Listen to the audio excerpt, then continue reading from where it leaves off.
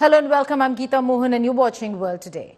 The Israel-Palestine war has shown how divided our world is today, that the international community has not been able to speak in unison on the October 7th Hamas attack and on Israel's military response in Gaza that has led to thousands of deaths.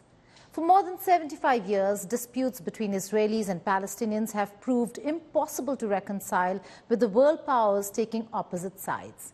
Global divisions have only intensified and the disagreements have been on display at the United Nations, which is debating whether to call for an immediate ceasefire in Gaza or not.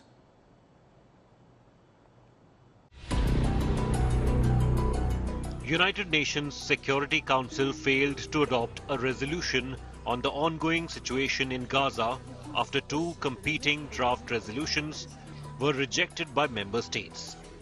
The August House also became a diplomatic war zone with representatives of Israel and Palestine firing salvos against each other. Nothing can justify the killing of a single Palestinian child. Nothing. Nothing at all. Why not feel a sense of urgency to end our killing? Nothing can, as I said, justify war crimes. You are setting us back 80 years by trying to justify what Israel is doing now. Israel is not at war with human beings. We are at war with monsters. When reading this resolution, Hamas seems to be missing in action. The drafters of the resolution claim to be concerned about peace. Yet, the depraved murders who initiated this war are not even mentioned in the resolution, not even mentioned. They see each one of you as puppet. Two draft resolutions respectively proposed by the United States and Russia on the ongoing Israel-Palestine conflict failed to pass in the United Nations Security Council. The US draft condemned all acts of violence and hostilities against civilians and reaffirmed the inherent right of all states to individual and collective self-defense and urged all parties to fully comply with international law. It also called for the immediate and unconditional release of all hostages and demanded that all states seize arms, exports, to militias and terrorist organizations that threaten regional peace and security, including Hamas. However, the resolution did not call for a durable ceasefire and did not urge Israel to rescind its ultimatum regarding northern Gaza. The draft failed to pass owing to a negative vote by Permanent Security Council members China and Russia. 我们反对的是 what we oppose is that the draft resolution is evasive on the most urgent issue of ending the hostility. It has never been able to call for an immediate ceasefire in clear and unambiguous terms. The second draft resolution led by Russia called for an immediate, durable and fully respected humanitarian ceasefire, condemned all violence and hostilities against civilians, including attacks by Hamas and urged Israel to rescind its orders for the withdrawal of civilians from northern Gaza. The text did not reach a sufficient number of votes to be adopted. Four council members voted in favor, namely China, Gabon, Russia and the UAE, while the US and UK voted no and nine other members abstained. For a resolution to be adopted, it must be supported by at least nine members of the Council. A significant legal problem in the draft is the reference to the right to self-defense, which was confirmed by the International Court in its advisory opinion of 2000, is inadmissible when we are talking about an occupying power. Israel regarding the Palestinian territories is precisely that. We see no point in supporting a document whose aim is solely one thing to serve the geopolitical interests of Security Council members. The US response to the UNSC resolutions amid this conflict is in line with its historical use of its veto power to block any resolutions that might be critical of Israel or call for Palestinian statehood. Since 1945, a total of 36 UNSC draft resolutions related to Israel Palestine have been vetoed by one of the five permanent members the US, Russia, China, the United Kingdom, and France. Out of these, 34 were vetoed by the US and 2 by Russia and China. The US has vetoed resolutions on Israel a total of 46 times, including over Israel's invasion of southern Lebanon as well as Israel's annexation of the Syrian Golan Heights, which remains under Israeli occupation.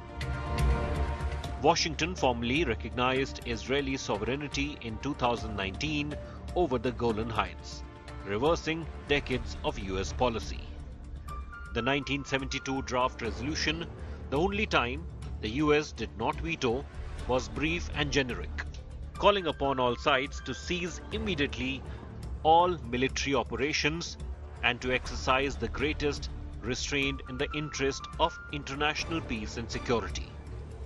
Meanwhile, the UN Secretary General Antonio Guterres was also caught in the crossfire for his comments on asking the international community to not see the recent developments in vacuum. It is important to also recognize the attacks by Hamas did not happen in a vacuum. The Palestinian people have been subjected to 56 years of suffocating occupation. They have seen their land steadily devoured by settlements and plagued by violence, their economy stifled, their people displaced, and their homes demolished. Their hopes for a political solution to their plight have been vanishing. But the grievances of the Palestinian people cannot justify the appalling attacks by Hamas, and those appalling attacks cannot justify the collective punishment of the Palestinian people. This led to a strong demand for his resignation. He was rounded up by Israeli officials who accused him of justifying terror. Secretary General, the UN was established to prevent atrocities, to prevent such atrocities like the barbaric atrocities that Hamas committed. But the UN is failing. The UN is failing, and you, Mr. Secretary General, have lost all morality and impartiality. Because when you say those terrible words that these heinous attacks did not happen in a vacuum, you are tolerating terrorism. This is a pure blood libel. This is a pure blood libel, and I think that the Secretary General must resign. Guterres felt the need to clarify his statement, which he said had been misinterpreted. I am shocked by the misrepresentations by some of my statement yesterday in the Security Council as if as if I was justifying acts of terror by Hamas. This is false. It was the opposite. I believe it was necessary to set the record straight, especially out of respect to the victims and to their families. After the Security Council failed on four occasions to reach consensus on any action, an emergency session of the UNGA was called, which saw the adoption of a non binding Jordanian resolution by a large majority of member states, with 120 votes in favor, 14 against, and 45 abstentions. Meanwhile, Israel hit back at the UN for not mentioning Hamas terror group during the resolution. Today is a day that will go down in inf infamy. We have all witnessed that the UN no longer holds even one ounce of legitimacy or relevance. This organization was founded in the wake of the Holocaust for the purpose of preventing atrocities. Yet, the spectacle we just saw proves beyond a doubt that the UN is committed, sadly, tragically, not to preventing but ensuring further atrocities. This marks the first formal response of the United Nations to the escalation of violence in Israel and Palestine since the Hamas terror attacks of 7th October. On Spotlight this weekend, we have an exclusive conversation with the European Union ambassador to India, Ambassador Hervé Delphin. He spoke to us about the situation in Gaza, concerns of the European countries with regards to the humanitarian crisis, condemned the Hamas attack, but also called for a humanitarian pause to allow aid into Gaza. Listen in.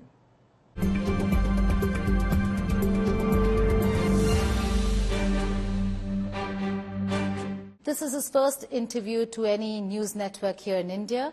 A career spanning 30 years, specialist in international relations, I'm being joined by the new European Union Ambassador to India, Ambassador Hervé Delphin. Thank you so much for joining us here on India Today. Apart from the European war, now we have another front that has opened up uh, in the Middle East, which is what we call West Asia. How do you look at the Israel-Palestine war, uh, the Hamas attack, but also Israel's response to the attack? Hmm. Uh, first, it, it's an absolute tragedy. I mean, there is no other word to describe it. Uh, um, the, what, ha- what the, the terrorist attack of, of, of Hamas uh, against uh, uh, Israeli civilians is despicable. Uh, now, we stood in solidarity with Israel, um, and, and, and, and we will stand by Israel to uh, right to exist uh, in security uh, and, and um, in the future. And we have always been pushing and supporting a two-state solution as well. And that's been a long-term commitment of the EU. Uh, and we also want this to be uh, put back on the, on the top of the agenda. Uh, now, immediately, there is one absolute priority is to let humanitarian aid in Gaza um, I relate personally to this crisis because in my past I was uh, dealing with humanitarian aid uh, for the EU. Um, I traveled a lot in the region, the West Bank, in Gaza. I, I know this place, I know the people, and I can imagine only the suffering of the civilians. So I think we need really to make sure that humanitarian aid gets in. A lot of efforts are made. EU is pushing for um, unlocking the humanitarian access, finding if there is any solution in terms of humanitarian pause. We tripled our humanitarian assistance. Now it's about 78 million euro. And if you look, actually, EU and the EU and India are almost on the same page because we stood by in solidarity with Israel in front of the, the terrorist attack, and we at the same time want the, the bringing civilian uh, assistance to civilian people and we launched this uh, two-state solution agenda. The European Union had a foreign ministers meeting and they really failed in bringing, uh, bringing about a humanitarian pause for the aid to enter Gaza. Where do you see this entire, given that you've worked in that area, you know the lay of the land, where do you see it uh, head from here on? Uh, the Rafah crossing is only allowing about 10 to 14 trucks, which is really not enough for the massive population in Gaza? Wherever, uh, whether in, in this crisis and, or, or, on others, when it comes to uh, humanitarian pause and humanitarian corridors or whatever name you will use, um, there are different considerations that always come into play. There are different actors. Uh, we, EU, we do not control the gate of Rafah. Uh, we, we, are in uh, intense contact with all the parties to, to, to the situation um, Egypt play a crucial role, and they, they are really um, trying to make the, the best of, the, of this situation. And I think it's important to realize also that there are security concerns on all parties. So I think the message of the UN Secretary General of the United Nations, Antonio Guterres, is fully supported, it's fully backed by the EU, and we support all efforts that are done in that respect. And that's where the EU stands uh, now, and, and we will provide uh, any support uh, we can to make sure that humanitarian aid uh, flows in. And what about uh, normalization of relations uh, between Israel and the Arab world? How do you see that? or for that matter, easing of the situation in, um, in, this, in, in West Asia? I think we, both India and the EU have, uh, have always had an interest, a strategic interest in having stability and security in this region. Everything that contributes to that, I think, is of importance. And to return to, I would say, a positive agenda, which is about growth, about green growth, about stability, connectivity. This is what we are all after. And if we can move from a situation of conflict, instability to that agenda, I think India and EU will be partners uh, and could work together toward that aim. Thank you so much for joining us here on interview. Thank you very today. much for your uh, interview, Mrs. Now it's clear that Iran now is front and center in this war. It's a well-known funder of Hamas, has been backing Hezbollah in Lebanon to open another front against Israel. And now US media is reporting that it was Iran that trained Hamas on its soil to mount the October 7th siege. This is a US media report on the basis of US intelligence.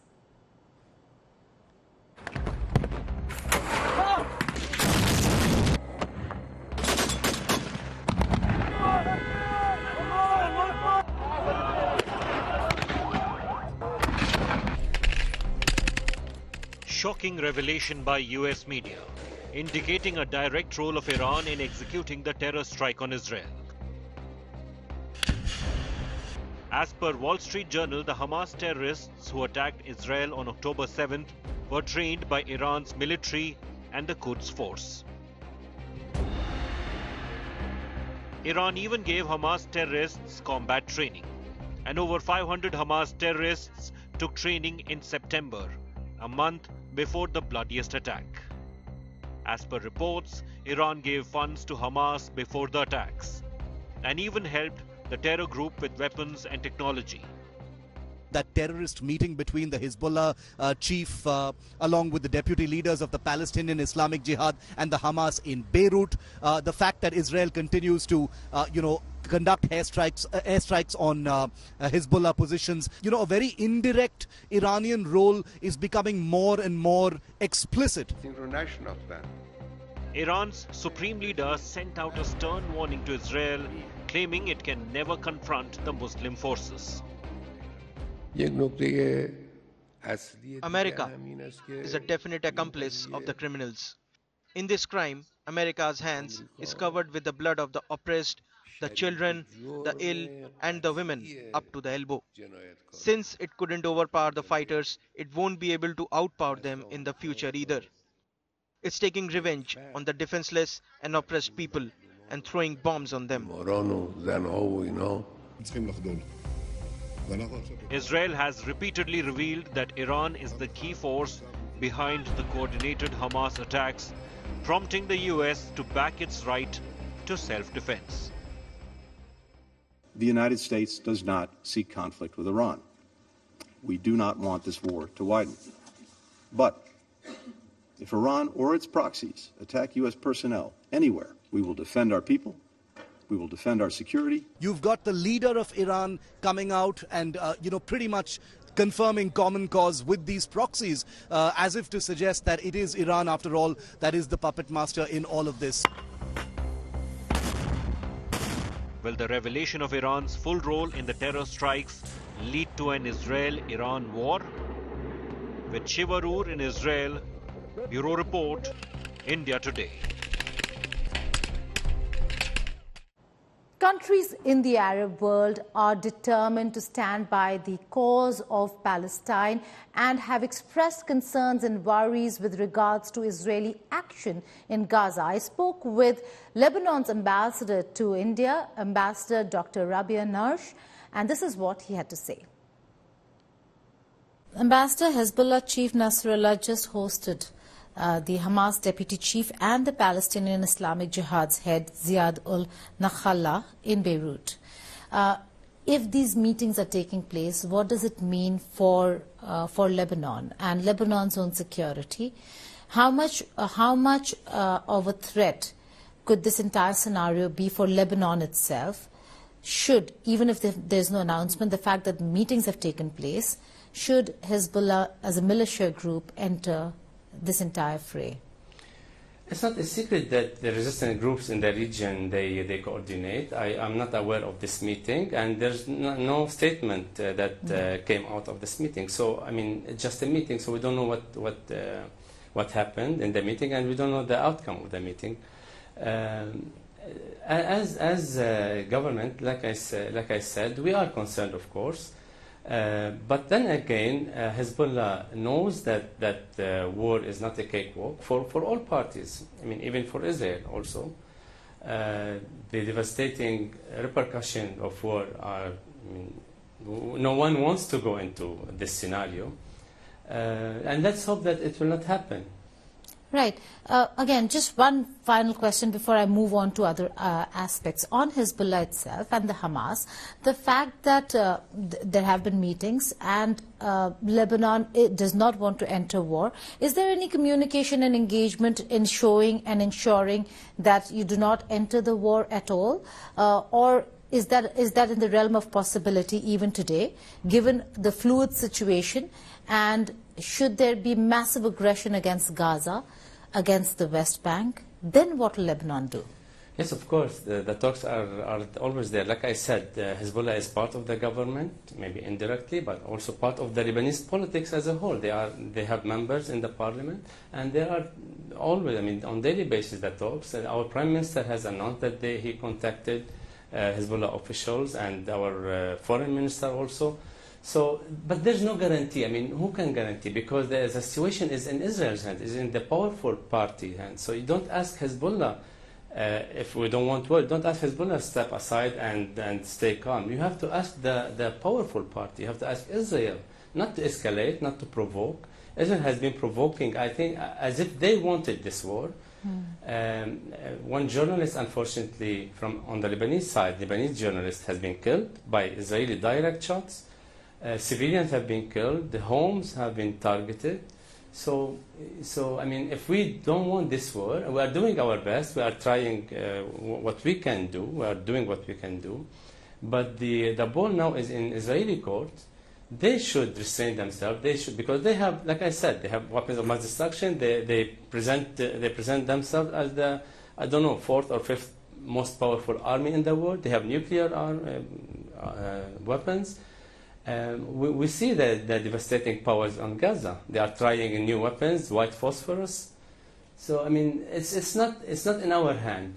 Plus, uh, you know, of course, Geeta, you, your viewers ha have to know that um, this societal connection in the Arab world and especially Palestine, Lebanon, Syria, all the Arab world, the, the, the familial and societal links is so strong. That's true. Uh, so, I mean, if, if something happened to Gaza, it's not like only a neighboring country. It's like attacking your, your own home or your brother's home. I gave an example earlier that uh, as if, uh, God forbidden, that something happened, something bad happened to an Indian in southern India, or on South India, then uh, an Indian, uh, an Indian here in North India would feel sorry and would feel like he is concerned, right? So the same here. Uh, that's why there's no guarantee, and no one can guarantee how the emotion or how the uh, things develop. Uh, of course, now the um, uh, every Arab they feel like, of course, angry and frustrated, and but then again, the restraint is there, and the powerful party, like I said, Israel, should do uh, should take the initiative, not the poor Palestinians. At a time when the world is closely watching the horrific images of war that is unfolding in Israel and Palestine, I'm ending this show with the powerful lines from a poem written by the famous Palestinian poet Mahmoud Darwish, which highlights the futility of war, titled The War Will End. The war will end. The leaders will shake hands. The old woman will keep waiting for her martyred son. That girl will wait for her beloved husband. And those children will wait for their hero father. I don't know who sold our homeland, but I saw who paid the price. Goodbye and take care.